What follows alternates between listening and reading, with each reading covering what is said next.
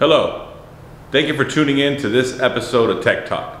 My name is Ryan with All Computer Resources, your nation's leader in automotive computer programming and remanufacturing. Today we will talk about Dodge, Jeep, and Chrysler skim module failure.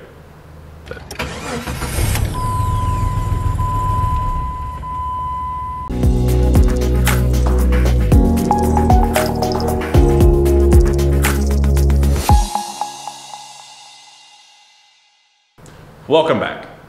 From 1996 to 2012, Dodge, Jeep, and Chrysler vehicles are equipped with a skim module or a WCM module. This module transmits data from your key to the PCM.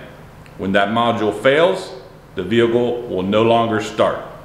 At All Computer Resources, we have the technology to remove the immobilizer from the PCM. All you will need to do is remove the skim module from underneath the dash.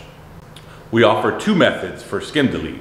The first, you can send in your PCM with a prepaid label, we'll remove the security and send it back. Two, you can purchase a new PCM from us, we'll disable the SKIM and ship it out to you. Those PCMs come with a lifetime warranty. It's important to note that if you send your PCM to us, we will not test it for functionality. We will perform the service and ship it back. So if you have other issues, you may need a new PCM as well. I will include a link in the description below that'll take you to the SKIM removal service on our website.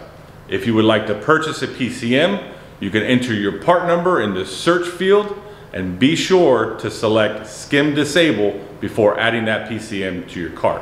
Or you can give us a call, 1-866-699-5230 and we'll be happy to help you. Now, regardless of what option you go with, you will need to remove or unplug the SKIM module from under the dash.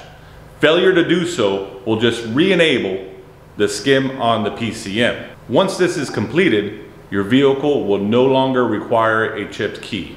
It will work with your existing keys, and if you'd like to add additional keys, you can just simply cut a metal key. Now, I would like to walk you through removing the PCM, removing the skim module, and reinstalling everything.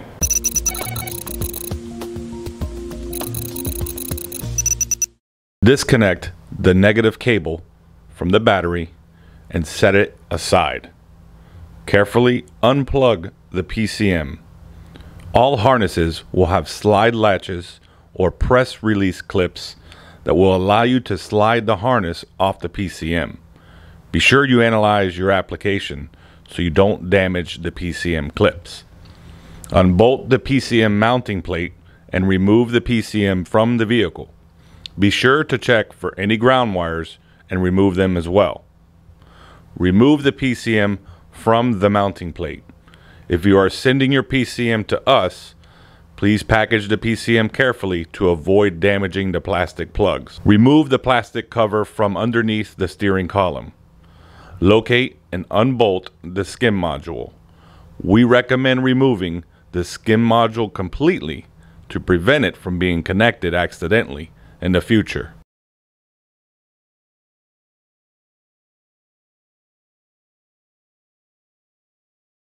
Carefully remove the skim module from around the ignition and slide it out.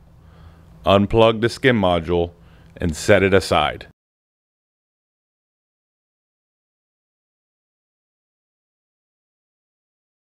Tuck the skim harness back underneath the steering column and reinstall the plastic cover.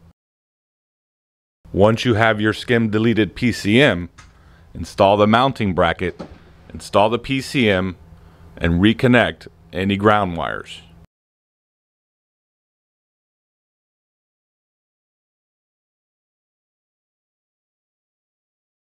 Carefully reinsert the harness connectors and be sure they are fastened securely. Reconnect the battery and tighten the terminal. Now we're ready to start the vehicle.